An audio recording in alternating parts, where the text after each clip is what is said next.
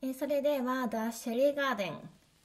えっと、スコットランドの、えケルト音楽の、え有名なメロディーをこれまで3回にわたって、え吹いていきました。1段目2段目と4段目は同じメロディーで3段目だけがすごくこう盛り上がっていくっていう、えそういった曲の形でしたね。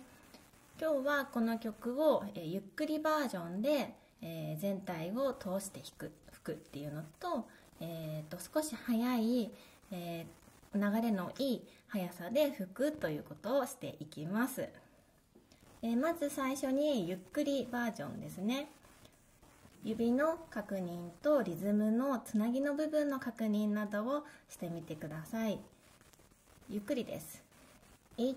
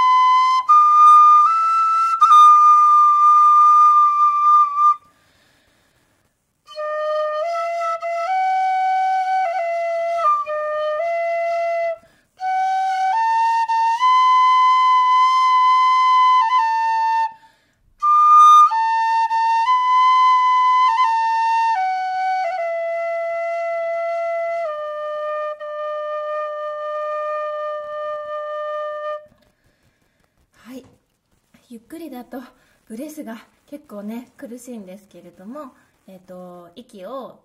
しっかり吸う場所も確認できたかなと思います。ちょっと高い音がうまくならなかったですね。たまにあの吹いてる間に唾がここに溜まったりするんですね。でそこここの部分に、えー、と唾液唾が溜まってたりするとちょっとこう、うん、空気の流れが、えー塞がれてしまうので軽くティッシュでこう唾液を取ったりとか振ったりして、